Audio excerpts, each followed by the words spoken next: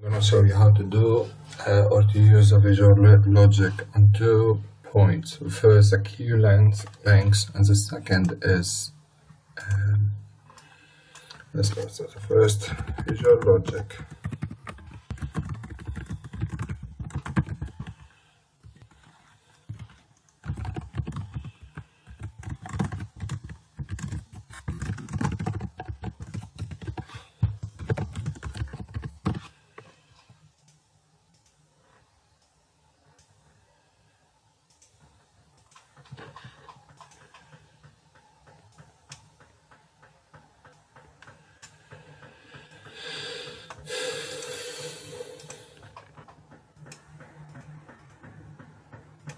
Okay, so to test this queue length, the second is to count the number of process unit using variables. So we have the starting point, and I'm gonna do it like really easy one, activity and end. So, and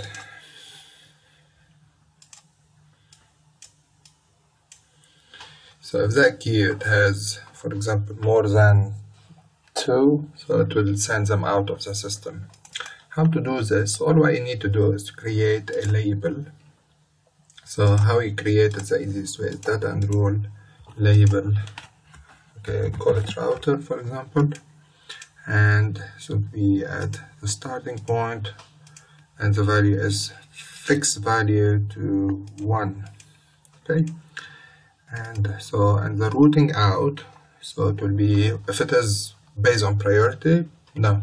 We want it based on the label. So it's router router. So if it is one it goes straight into the system. If it is two it goes into the end out of it. Okay. But by default because again as an action we set them all as one. So if you run the system just one second please. So if you run the system and you say you want to run it for 250 minutes. And so we run it. So by default everything's gonna go out of the system as you could see here. Literally all of them. So I'm gonna reset this. I'm gonna make this like really big value. And we're gonna send one to the system at a faster rate. So if you run it again and so there's like here's a queue so if I make this like back to 5 and we run it again. Still there's a but it's better than before. Okay the queue has no capacity so like you're literally 62 stuck in the queue so let's do it in a way just if we have more than 15 in the queue they head out to N2 okay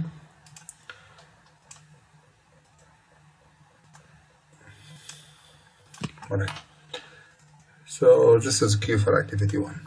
So what I have to do or what we have to do is routing out. Again we set the label as equal to one which is router. And we said if it is based on that router if it is equal to one or equal to two. Okay? So we we need an action here. So action visual logic and if condition. And this is like really easy. So you need the objects in the system. So queue for activity. Double click. If queue for activity okay dot count contents is it greater than or equal to for example 10 add them out okay? And here so set. You don't have to remember anything. Press on nothing. So all there. You literally don't have to remember anything. So that value here is equal to all I have to remember that router equal to which mean. Uh, and you can add command sorry comment. Okay? So this is my command and okay perfect. So I'm gonna close this say okay. And all I have to remember is the following. So when router equal to what I have to remember is the following.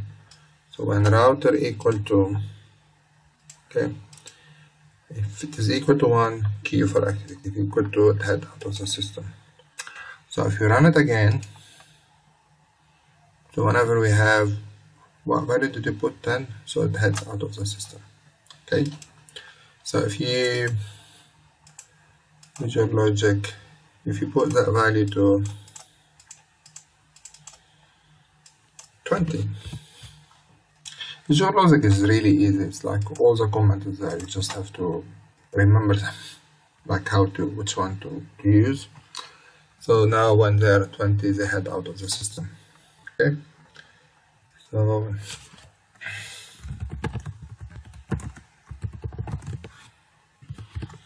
so I'm gonna save it into the desktop. Lesson one. Okay so the next point would be count how many activities processing.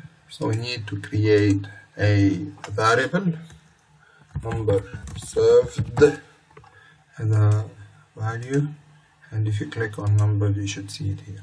Number served. Again you need to remember how it's been spelled. So control copy close. So if you go to the activity again it's really really easy. So we have if visual logic we don't want this one. So if we say action root out routing out sorry. And we have more so on work complete before exit on exit. Okay so I want it on work complete. So if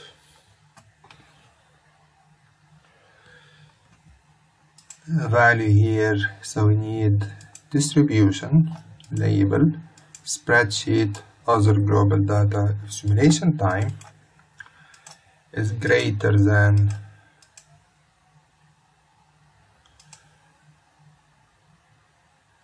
warmer period. Well in our case it's like it's literally equal to zero.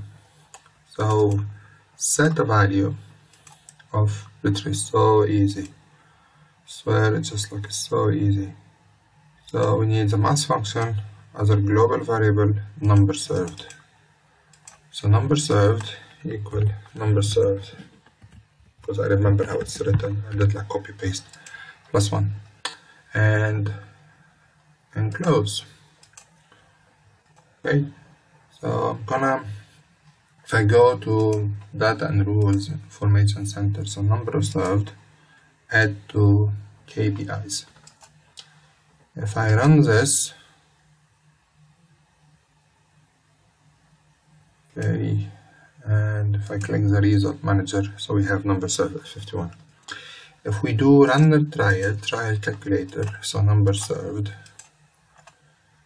be able to tell which one we need. So we need seven. So if we do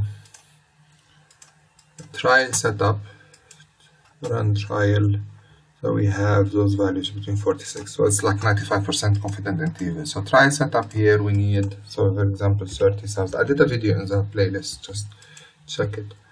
So run trial, sorry, 33,000. So apply, trial setup, run trial, and 47 and 51 okay. So if you want a copy of this video please let me know